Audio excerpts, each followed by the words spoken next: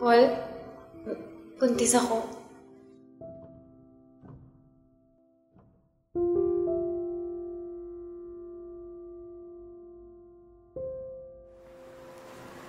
So yun, iniwan niya ako. At ito nangyari.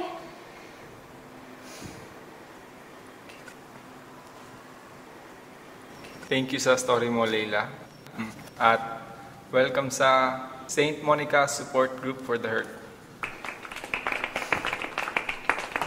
So guys, baka nagtataka kayo kung bakit St. Monica's. Si St. Monica, ang patron of the lost youth. Kayo. So, yes. Uh, sinong sunod na mag-share?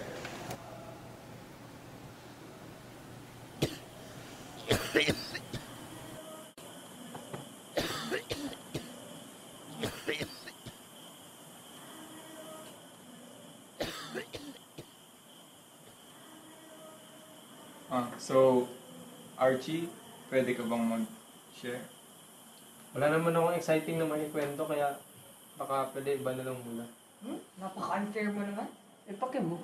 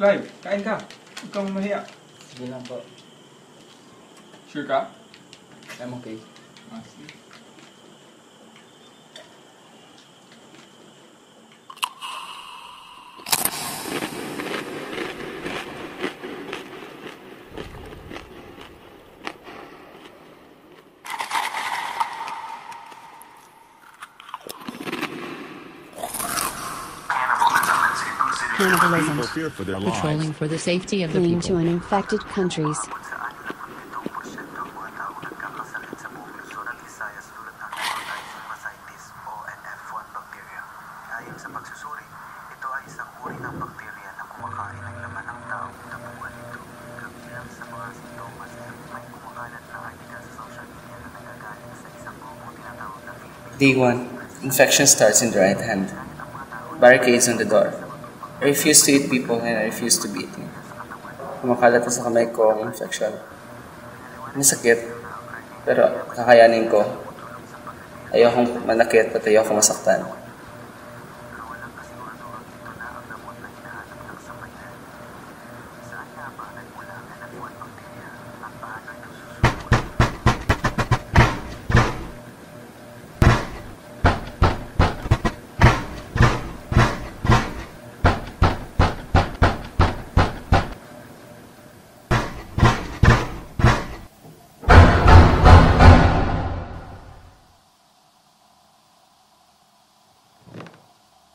So, Archie, handa ka na ba?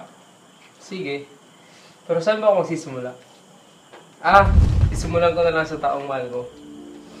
Naalala ko pa yung mamo niya mukha. Yung ngiti at kanyang tawa.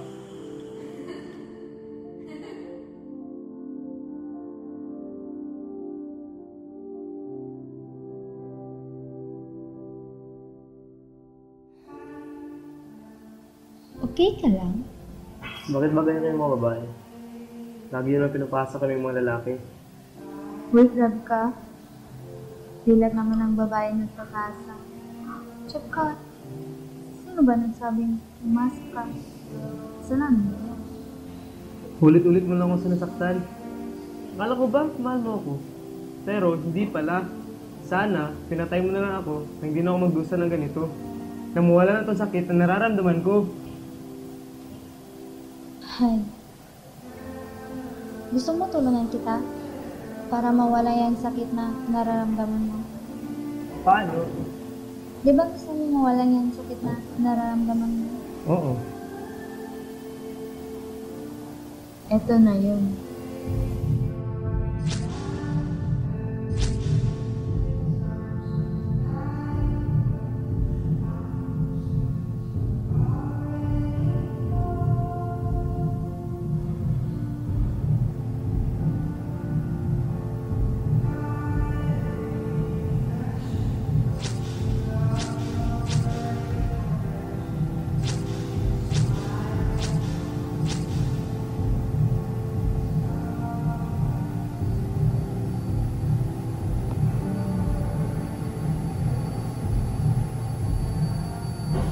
So, tinangka kang patay ng girlfriend mo?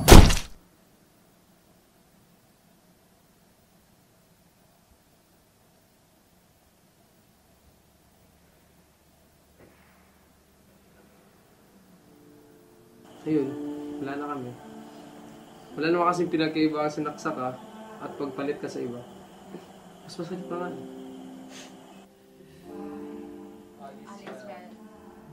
Kala nyo kayo lang? One day.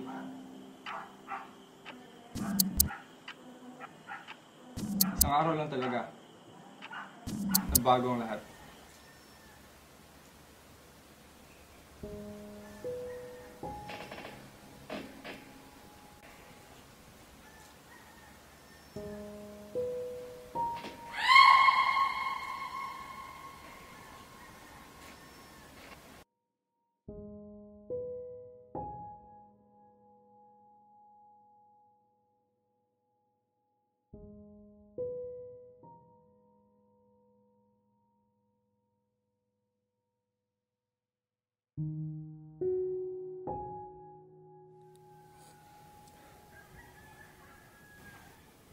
Sorry. Ilang beses kong inuulit-ulit sa utak ko yung araw na yun. Sana nailigtas kita. Sana magkasama pa tayo. Pero hindi. Ikaw pa yung nagligtas sa akin.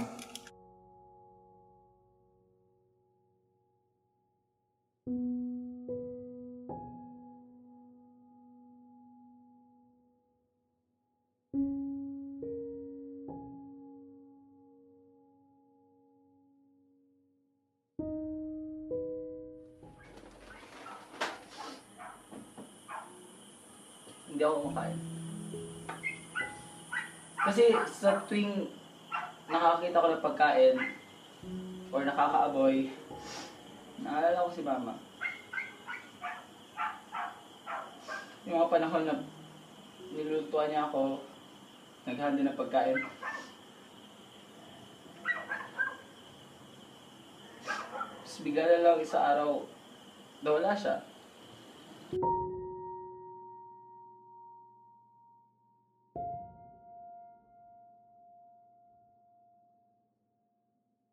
Labing dalawang araw na ako nagugutom at nagtitiis.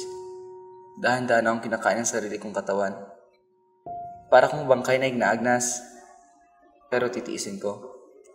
Hindi ko masisikmura ang ideya na kumain ng tao.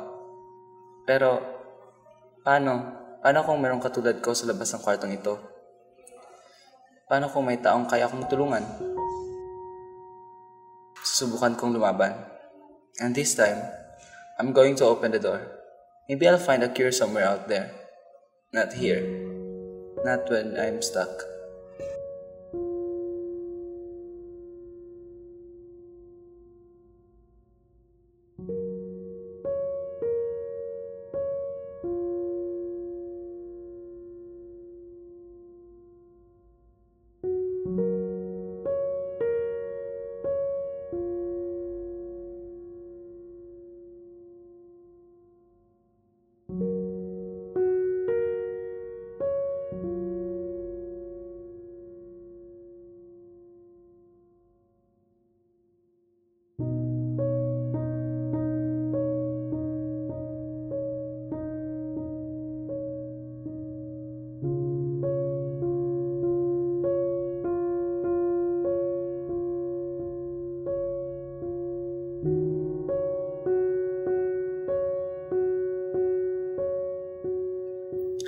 I'm anorexic and that's the truth.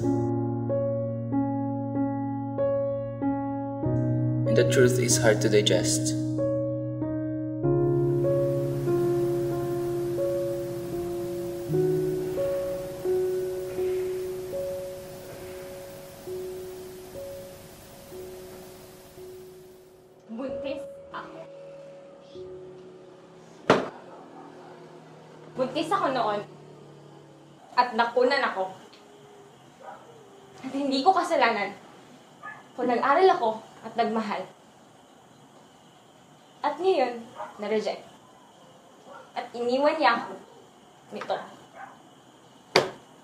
Ngayon, ay iniwan na din ako. Ang saya, no? Ang saya.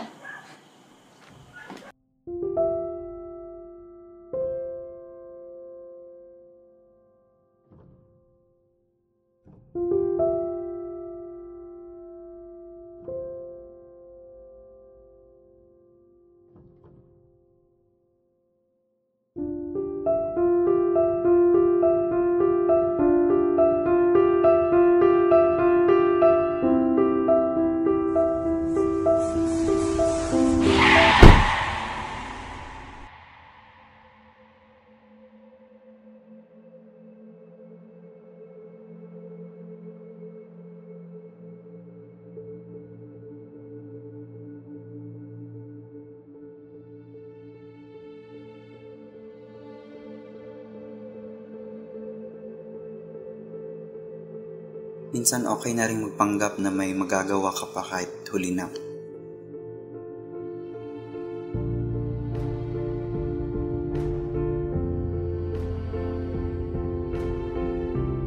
Na okay ka kahit parang sinasaksak ka na sa sakit.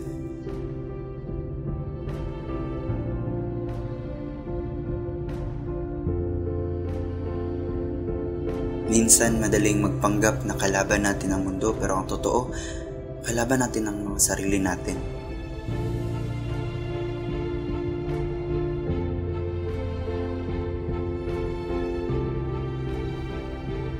At minsan,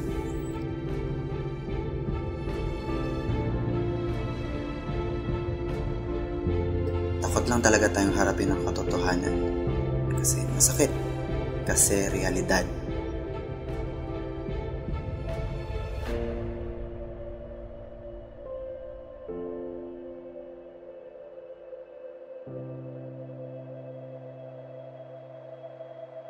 Lahat tayo lumilikha ng pantasya para makaalis sa totoong mundo pero ang sumusukat sa lakas ng loob natin